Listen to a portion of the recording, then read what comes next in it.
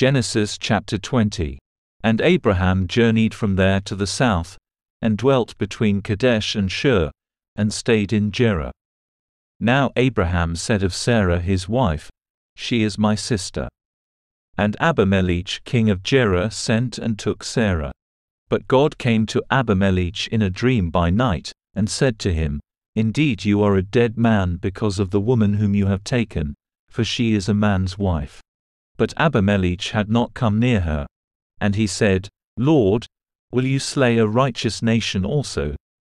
Did he not say to me, She is my sister?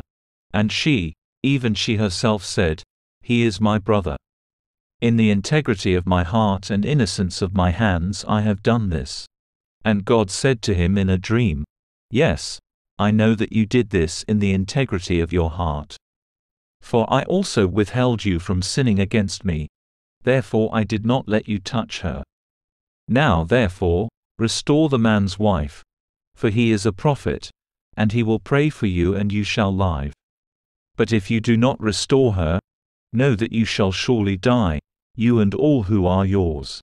So Abimelech rose early in the morning, called all his servants, and told all these things in their hearing. And the men were very much afraid. And Abimelech called Abraham and said to him, What have you done to us? How have I offended you, that you have brought on me and on my kingdom a great sin? You have done deeds to me that ought not to be done. Then Abimelech said to Abraham, What did you have in view, that you have done this thing? And Abraham said, Because I thought, Surely the fear of God is not in this place, and they will kill me on account of my wife. But indeed she is truly my sister.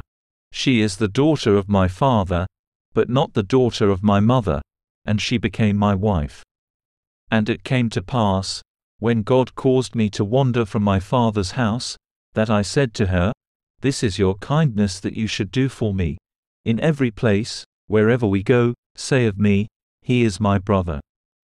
Then Abimelech took sheep, oxen, and male and female servants, and gave them to Abraham. And he restored Sarah his wife to him. And Abimelech said, See, my land is before you. Dwell where it pleases you. Then to Sarah he said, Behold, I have given your brother a thousand pieces of silver. Indeed, this vindicates you before all who are with you and before everybody. Thus she was rebuked. So Abraham prayed to God. And God healed Abimelech, his wife, and his female servants. Then they bore children. For the Lord had closed up all the wombs of the house of Abimelech because of Sarah, Abraham's wife.